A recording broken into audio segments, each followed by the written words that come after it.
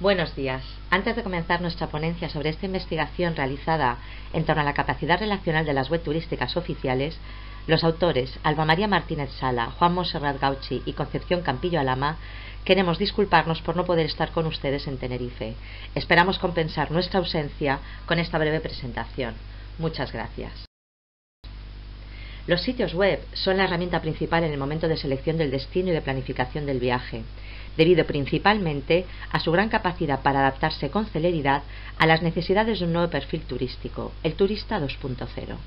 El turista 2.0 es un viajero más informado y participativo que ha adquirido nuevos roles como productor de contenidos y recomendador de productos y servicios, y que en consecuencia valora muy positivamente las opiniones y experiencias de otros viajeros. Estas ejercen una gran influencia en su decisión final, tanto acerca del destino del viaje como de sus componentes. Junto al éxito y masiva implantación de Internet y más específicamente de la web social o web 2.0, constatamos una menor influencia de este canal en la selección del destino y paquete vacacional frente a la selección de otros productos y servicios turísticos como el alojamiento o el transporte. De esta realidad observada surge esta investigación que evalúa la capacidad de las web turísticas oficiales para establecer relaciones con sus públicos, para ello, se propone y se aplica un modelo de análisis centrado en la interactividad y función social de las webs, así como en la presencia de los destinos en los medios sociales. Las relaciones entre organización e individuo y entre individuos son la finalidad principal del marketing relacional y colaborativo y su denominador común con el marketing 2.0, pues Internet y los canales digitales permiten a organizaciones e individuos relacionarse, en el ámbito de las web turísticas, el marketing 2.0 ha supuesto la integración de variables del marketing como y atención, y relaciones públicas, y marketing relacional o y marketing social media, todas ellas necesarias para que las organizaciones puedan interactuar con sus públicos y estos entre ellos, y todas ellas dependientes del grado de interactividad y de la función social de las webs.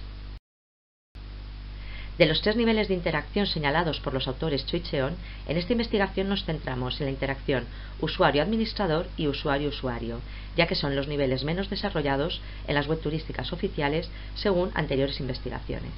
También con respecto al tercer nivel de interacción, por la influencia que las opiniones de los usuarios tienen en la valoración de productos, servicios y organizaciones por parte de otros usuarios, así como en su fidelización. En lo concerniente a la web social, su análisis se centra en la interacción gestores-usuarios-contenidos desde una perspectiva participativa y de socialización.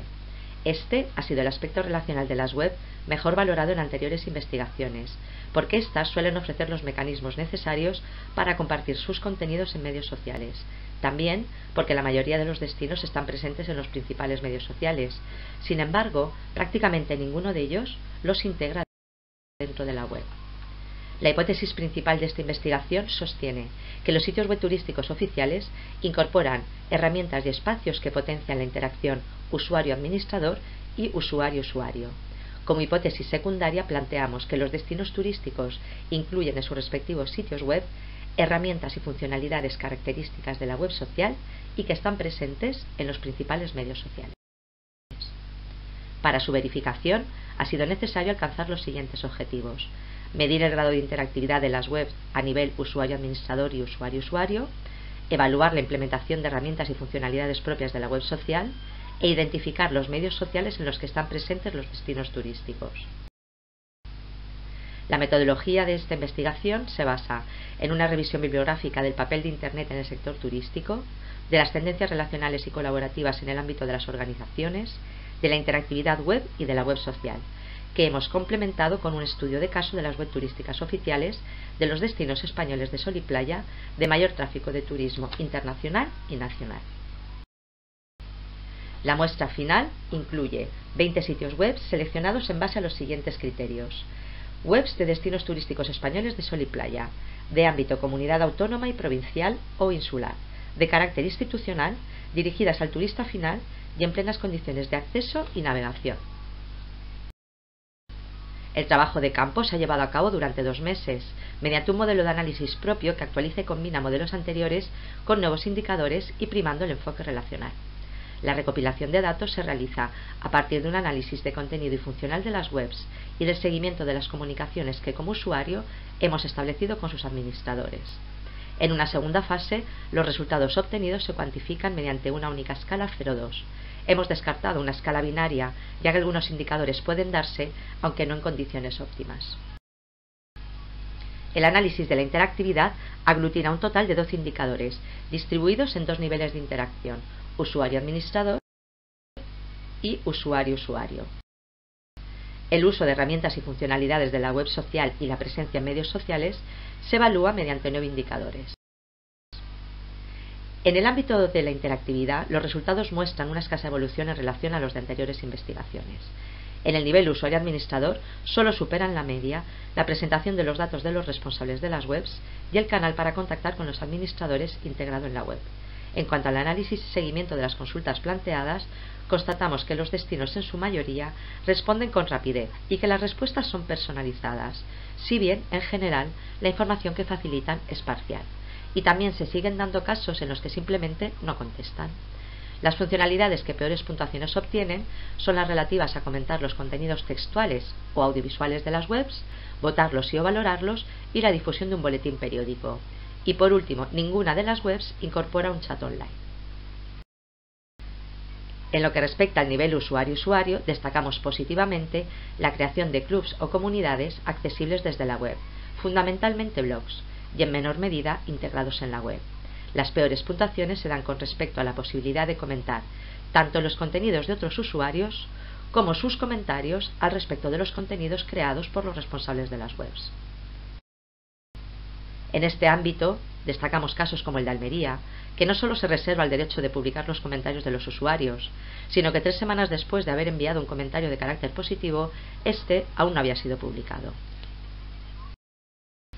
En el ámbito de la web social y medios sociales sí se observa una mayor evolución. Los medios y herramientas de menor uso son los servicios de sindicación de contenidos, la inclusión de enlaces a redes sociales de recomendación externa, pero especializadas en productos y servicios turísticos, los blogs y la integración en la web de los contenidos generados en las redes sociales.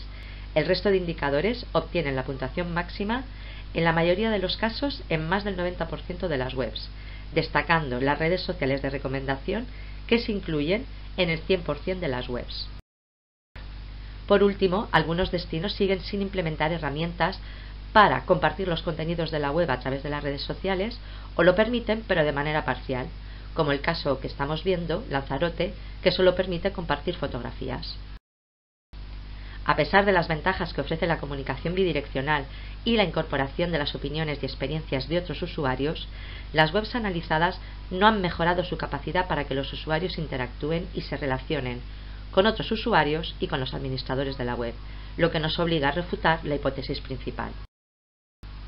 A nivel de usuario-usuario, recomendamos generar espacios para que estos puedan publicar sus opiniones y recomendaciones, aunque cabe la posibilidad de sustituirlos por medios sociales externos y evitar así posibles costes humanos y económicos innecesarios.